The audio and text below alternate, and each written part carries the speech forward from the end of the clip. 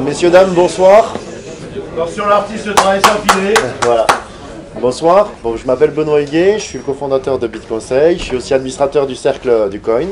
Je réponds à l'appel de Jacques qui m'a demandé de faire une présentation euh, euh, un peu polémique et nouvelle.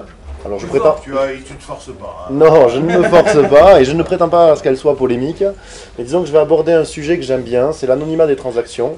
Souvent, les défenseurs de Bitcoin, quand on leur parle d'anonymat, ont tendance à prétexter que Bitcoin n'est pas anonyme. Et bien, euh, oui, ben, je fais au plus fort. Et je vais essayer d'aborder un, angle différent, à savoir euh, que je vais défendre l'anonymat. Pour moi, l'anonymat est utile, il a des fonctions, il a des vertus, et en fait, euh, il faut les connaître, il ne faut pas toujours s'en prendre à l'anonymat. Donc, bon, la phrase classique, c'est « je n'ai rien à cacher ». On la connaît tous. Donc, je vous demande si vous n'en avez rien à cacher, vraiment. Est-ce que des gens n'ont rien à cacher ici? Est-ce que vous êtes malhonnête pour autant oui, bon, mais pas, fon- pas, pas fondamentalement. En réalité, les gens qui souvent estiment qu'ils n'ont rien à cacher, le, le défendent sous l'aspect comme quoi ils seraient euh, honnêtes et les gens qui n'auraient pas rien à cacher ne le seraient pas. En réalité, ça a plus à voir à la confiance qu'on accorde aux surveillants. Les personnes qui vous surveillent sont-elles honnêtes? Si vous faites le pari que ces gens-là sont honnêtes, effectivement, peut-être vous leur, vous délivrerez des secrets. Mais je vais vous poser une question. Euh, Est-ce que vous diriez où vous habitez à euh, un assassin, un voleur, euh, un violeur? En fait, l'anonymat va dépendre énormément de la confiance que vous accordez à la personne qui vous surveille. Donc, bon, alors là, on va s'attaquer. Et donc, l'argument phare pour justement plus de surveillance, c'est la menace terroriste. Donc ça, c'est le problème. Évidemment, ils sont fâcheux. Euh, ils, tuent, ils tuent des gens, ils en tuent énormément. Et donc, euh, l'argument est, pour protéger de cette nuisance, euh, il faut mettre en place un système de surveillance. Donc, la volonté est louable. hein. Effectivement, c'est toujours un problème d'avoir une attaque terroriste. Mais en réalité, ils ne sont pas très nombreux. Il faut savoir que ces gens-là terrorisent énormément de gens, mais eux sont une, petite, une petite fraction de la population, etc. Et pour nous défendre contre ces personnes, en fait, on va donner les clés de la baraque à d'autres entités. Donc notamment, c'est les gouvernements versus les terroristes. Et ce sont donc les gouvernements qui vont nous protéger de ces fameux terroristes. Le problème, le problème, c'est que quand ça, quand ça dérape, on va avoir un problème qui était déjà de 100 000 morts et qui va pouvoir s'aggraver à un point incommensurable. Donc, euh, les moustachus, par exemple, vont pas forcément être plus tendres que les barbus qu'on a vus plus haut. Et, euh, et c'est l'inconvénient. Donc, l'in- l'inconvénient de leur donner trop de pouvoir, c'est qu'ils vont pouvoir engendrer des catastrophes euh, assez, assez monumentales. Alors, bon, j'ai mis les classiques. hein. Euh, voilà, j'ai cherché des photos où ils étaient souriants parce qu'ils se présentent rarement avec l'ambition de tuer tout le monde. hein. Normalement, ils, ont justement le projet de nous protéger des précédents et hop, ils prennent le pouvoir. Et dans le lot, j'ai mis un avion. Euh, l'avion, évidemment, euh, il représente, ben, justement, c'est les dictateurs, et l'avion, il représente la démocratie, euh, qui, elle, no- normalement, elle tue pas sur son sol, elle exporte, en fait. C'est bon, un petit aspect différenciant. Donc voilà, petite variante. Et donc ça, c'est un problème. Alors le problème, c'est que en plus, ceux qui sont pas morts, bien, ils ont peur. Donc non seulement, je veux dire, ces dictateurs vont tuer des gens, et ils vont terroriser ceux qui restent. Et c'est là, là qu'intervient l'anonymat. L'anonymat va être un, moyen de défense euh, des gens qui ont peur, des gens qui sont opprimés contre justement ce genre de gouvernement. Et, euh, et je vais faire le lien justement à ce moment-là avec Bitcoin. En présentant, j'ai cherché trois grandes œuvres euh, qui, avaient, qui étaient apparues sous couvert d'anonymat. Donc ben, la première, elle remonte à Copernic. C'est sa première présentation du modèle héliocentrique. C'est du temps où la Terre était plate. Ben, C'était compliqué d'expliquer qu'elle était ronde. On avait beau écrire un argumentaire, on le présentait, et euh, à ce moment-là, la personne euh, en charge euh, de certifier que la Terre était plate regardait l'argumentaire et demandait tout de suite le nom de la personne qui avait soutenu cet argumentaire. Et donc du coup, ben, ce cher Copernic, son premier essai, il l'a publié en 1510, il n'a jamais publié de son vivant le reste, hein, jamais en son nom. Le second, alors je vous ai mis d'ailleurs une, petite illustration, on la verra après, c'est une terre plate en forme de pizza, elle est sympa. Le second, c'est l'esprit des lois de Montesquieu. Du temps euh, de la monarchie absolue, expliquer séparation des pouvoirs, gna gna gna, démocratie, humanisme. Bon, euh, encore une fois, c'est un concept qui va pas passer. euh, Eh bien, la première édition de l'esprit des lois, elle est sans auteur. Je veux dire, il a pas, on, ne clame pas au effort, j'ai un meilleur système, je vous assure, il est génial, il faut absolument que vous sépariez votre pouvoir.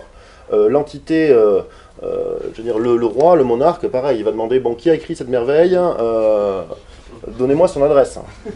Et le dernier, évidemment, ben, c'est Bitcoin. Le fameux Bitcoin, c'est Satoshi, qui lui va remettre en cause le système monétaire. Et en fait, s'il le fait sous couvert euh, d'anonymat, c'est pas non plus par hasard. C'est tout simplement parce qu'il a peur euh, d'être euh, attaqué par les gens qui détiennent le pouvoir monétaire. et donc, c'est tout ça pour dire que l'anonymat a aussi une vertu, c'est de permettre aux, aux opprimés de s'exprimer et de faire avancer la science, notamment, et le progrès. Voilà. Ah, oh, une variante. Alors là, c'est la fameuse pizza euh, en terre plate, jusqu'à ce que Copernic intervienne et rétablisse l'ordre en disant non, elle est ronde. Galilée a chauffé, hein, il a failli finir sur un bûcher parce que lui-même était d'accord, etc. Alors là, voilà, on, revoit l'esprit des lois. Alors je ne sais pas si c'est la première version, il y a peut-être un, auteur, mais sur la première version, il n'y est pas. On voit le fameux, euh, la mise à l'index. En fait, la mise à l'index, c'est quand on a écrit quelque chose qui déplaît euh, à l'autorité religieuse, eh bien, elle vous met sur sa petite liste euh, des œuvres interdites. Il y a un fameux autodafé, justement, et bien sûr l'œuvre de Satoshi, parue sous pseudonyme. Donc le pseudonyme a quand même une utilité. Donc quel est le dogme actuel? Eh bien le dogme, le dogme avant Satoshi et après Satoshi. le dogme est monétaire. Donc euh, on part d'une monnaie fiat, donc du latin qu'il en soit ainsi. Euh, la monnaie à cours légal et forcé, c'est-à-dire qu'on ne demande pas aux gens, c'est le rôle des institutions, c'est euh, le rôle des États. Et on ne demande pas aux gens, est-ce que vous acceptez cette monnaie ou pas? Non, si vous êtes commerçant sur le sol français, par exemple, vous devez accepter l'euro, c'est un cours légal. Si c'est centralisé, c'est-à-dire qu'on ne cherche pas, vous ne pouvez pas euh, du jour au lendemain euh, vous monter en banque, faire concurrence à la monnaie étatique. Donc ça, c'est le dogme actuel. Bitcoin arrive et propose un modèle euh, fondamentalement différent, c'est-à-dire que librement consenti. vous, acceptez, vous acceptez les bitcoins, vous les acceptez pas, oui, non, on est d'accord, on consent, on consent pas. Euh, c'est un protocole open source, libre, décentralisé. N'importe qui peut participer euh, à euh, l'émission de la monnaie, la distribution, toutes les fonctions sont ouvertes à n'importe qui. C'est sans frontières et c'est ouvert à tous. L'ouvert à tous, on le reverra, ça, ça, a à voir avec le, le proof of work, où justement ça ne repose pas sur l'identité. Et donc, pour en revenir au fait que euh, aller à l'encontre du dogme euh, établi, c'est pas euh, de tout repos, eh bien, on n'a qu'à regarder le code pénal, le code pénal français. Et donc, il y a quelque chose de très rigolo quand on le feuillette, on regarde quel est le sort du faussaire. Bon, parce que le faussaire imprime des faux billets, effectivement, il va nuire à l'ordre établi. alors, je ne vais pas défendre le faussaire, hein, mais il prend 30 ans et 450 000 euros d'amende. Voilà, c'est ce que le législateur dit, code pénal, celui-là, il faut le faire cesser à tout prix. Que fait un violeur? Je veux dire, le violeur, qu'est-ce qu'il propose? Bon, propose pas grand-chose d'intéressant. On, lui, euh, on lui oppose 15 ans. Voilà, à mettre en comparaison avec un faussaire. Euh, la personne qui propose des actes de barbarie aussi, j'avais trouvé le terme, 15 ans, c'est pareil. Je veux dire, le faussaire, le faussaire est quand même hautement plus dangereux que ces gens-là. enfin, en tout cas, euh, vis-à-vis du, du législateur. Donc, bon, ben, c'est un problème. Et c'est un problème. Et donc notre rapport à la monnaie, on le voit, il est un peu biaisé. Par exemple, un, des exemples, souvent, on parle de protection euh, de la vie privée. Donc vis-à-vis des, communications, c'est quelque chose qui est acté. Euh, je veux dire, euh, espionner, les, espionner les communications, c'est mal. Mais tout le monde parle de surveillance financière. Les KYC, les AML, etc. C'est, encore une fois, je veux dire, si vous avez confiance dans la personne euh, qui va imposer ces mesures et que vous estimez euh, qu'il est euh, honnête, qu'il cherche, pourquoi pas? Mais si on est dans une société en fait dictatoriale, avoir quelqu'un qui cherche à vous mettre en prison, qui a la, possibilité d'espionner toutes vos transactions, ça va pas être la même histoire. Et donc, ne pas communiquer son identité à chaque paiement, avoir un moyen de paiement anonyme, c'est se protéger. quand, on va, quand on paie un inconnu euh, en, espèces, on ne cherche pas je à une fête foraine, on ne va pas donner son nom, son adresse, euh, tous les chiffres de son RIB à n'importe qui pour... Euh, une, pour une... à qui tu veux, mais oh, toi non plus. Hein. Et ne, ne pas donner son identité, l'anonymat, en fait, la fonction première de l'anonymat, c'est de protéger les gens. Et ça ne protège pas que les terroristes, en fait, le propos, et c'est le propos, je reviendrai après, le propos c'est que ça protège en réalité des millions, voire des milliards de personnes qui sont dans des situations inconfortables vis-à-vis de leur gouvernement, qui est tout sauf le postulat d'honnêteté. Et c'est ça sur quoi je voulais venir. Et donc, Bitcoin, quel est l'apport de Bitcoin par rapport à la censure et notamment à la preuve de travail?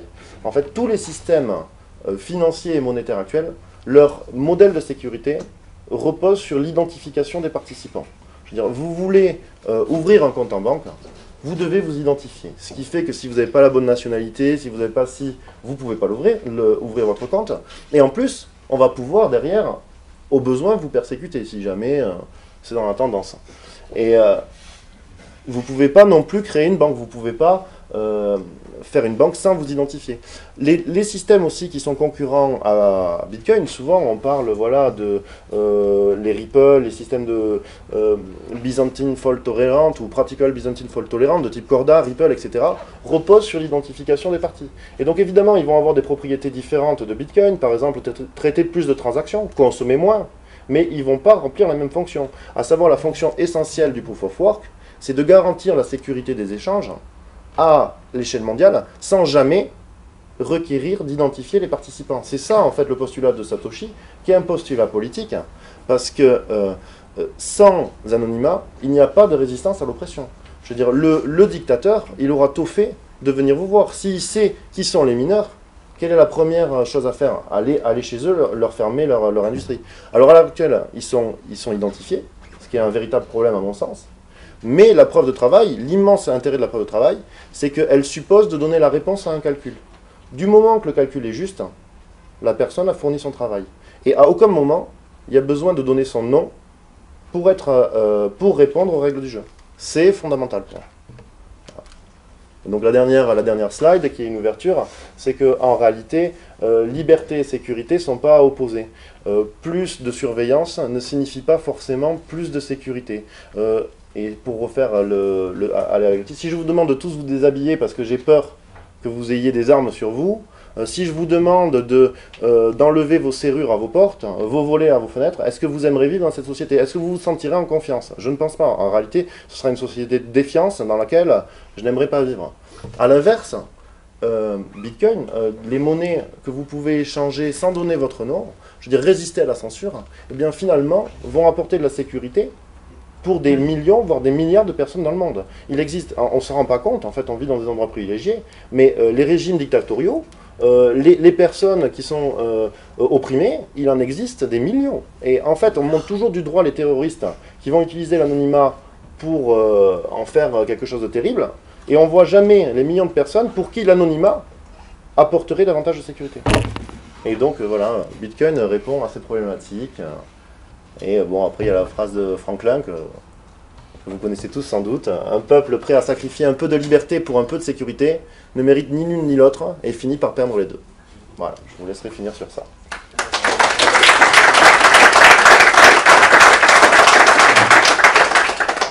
Je vais encore faire ma voix, mais j'ai une objection. Ah. Euh, le minage, il n'a rien à voir avec l'anonymat.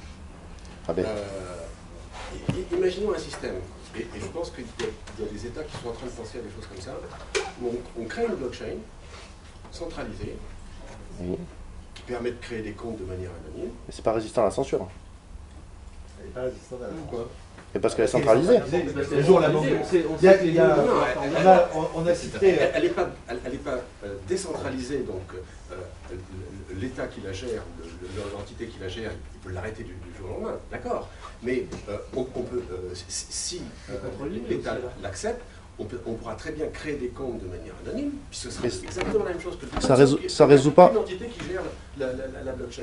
Donc l'anonymat n'a pas à voir Moi, je... avec le minage. Le minage, c'est pour. Euh, ben, je suis pas d'accord. C'est pour sécuriser la, blockchain, pour pas que la blockchain puisse être attaquée et substituée par une autre. Si un État qui sert de tiers de confiance, n'importe qui qui sert de tiers de confiance, gère une sorte de blockchain euh, comme celle du Bitcoin mais c'est un tiers de confiance, euh, tout peut être très bien anonyme. Bon, bon, j'aimerais bien mon droit. J'ai mon droit de réponse. J'ai mon droit de réponse. Donc, mais je suis pas du tout d'accord parce que euh, ça résout pas le problème de confiance qui est à, l'origine. Si, si, vous avez confiance. pas l'histoire de l'anonymat. Ah si si si, bien sûr que si. Il faudra avoir confiance. il y aura un tiers de confiance, d'accord, mais mais l'anonymat sera résolu. Alors non, je suis pas, je suis pas du tout d'accord parce que la preuve de travail permet à n'importe qui de faire fonctionner ce système sans s'identifier. Ce système. Non, Mais c'est pas le même, c'est pas les mêmes, c'est pas les mêmes contraintes quand même. Je veux dire, si on part du. Il n'y aurait pas besoin de s'identifier pour créer des comptes, ça serait la même. Mais là. Mais elle serait tenue par qui à l'origine Toutes, les fonctions c'est- pas créer des comptes, c'est valider Mais- les transactions, c'est faire le travail de mineur. Actuellement, on peut être mineur, n'importe qui. On peut proposer l'infrastructure. hein. N'importe qui peut être mineur. Non, parce bout Et, d'ailleurs, c'est pour ça que tu dis que c'est un problème qui soit connu. Oui, bien sûr. Et peut-être Ça, ça, je l'ai corruptibles. bien compris, mais c'est l'aspect décentralisé, c'est pas l'aspect anonyme. Mais les deux. Mais décentralisé, décentralisé et identifié, c'est possible. Je, comprends que vous soyez attaché aux deux choses, mais elles sont quand même relativement indépendantes. Moi je voudrais faire une remarque. Dans tout ce que tu as dit, il me semble qu'il y a une petite euh, entre parenthèses. Tu opposes les vilains terroristes. Je les oppose pas, je les oppose plus. Tu les voilà, les vilains terroristes d'un côté, les vilains dictateurs de l'autre. En, en fait, et tu as posé une bonne question, c'est est-ce que vous êtes prêt à dire à n'importe qui euh, vous habitez, etc. Donc la question c'est euh, quel- pas votre secret, mais quelle est la confiance que vous faites à la personne à qui vous confiez ce secret. Oui. Moi, je vais ajouter et à ses successeurs. Et Volontiers. c'est un truc Volontiers. toujours, mais euh, l'arrivée au pouvoir d'Adolf Hitler, elle est le 30 janvier 1933. Le 31, il avait tous les pouvoirs, parce que la bonne vieille République de Weimar, de sociodémocrates de mes deux, avait voté exactement toutes les lois. Il a pendant des semaines commencé à prendre le pouvoir avant d'appliquer, de créer ses propres lois. Il n'y a pas eu une première semaine où M. Hitler s'est comporté comme un euh, démocrate social allemand. Dès le 31 janvier, il, pouvait euh, sortir de ce qui nous apparaîtrait comme humainement tolérable parce que les lois des sociodémocrates le lui permettaient. Je suis désolé, si euh, on nous a dit en France, votez pour le gentil euh, tout rose là, parce que sinon c'est la mémé méchante, mais si la mémé méchante, elle était arrivée au pouvoir, l'essentiel des lois dont elle avait besoin était déjà votées. Et presque travail. tout. Il y, a, il y a très peu de, de ruptures législatives qui soient concomitantes au- au- au- à la prise de pouvoir par un dictateur, parce que d'abord les dictateurs s'en foutent des lois, euh, et ensuite parce qu'elles sont déjà là.